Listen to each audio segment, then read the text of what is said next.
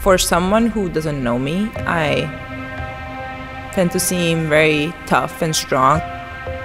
You probably don't want to talk to or wouldn't go up to you because I'm not really smiling and waving.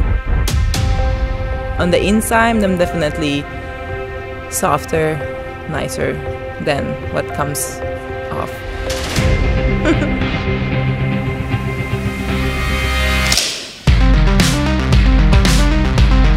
My dad taught me how to be strong and how to work hard for what you want in life.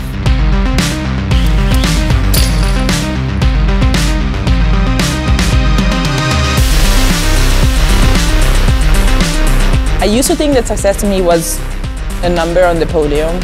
I think success could mean you're going for your, your dream or like just like taking the leap of faith.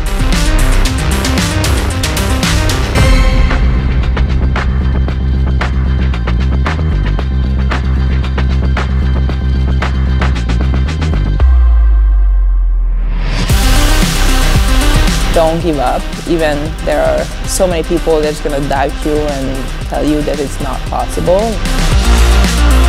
Don't necessarily prove those people wrong, but prove yourself right by doing so. My name is Laura Horvath, and I'm Rogue.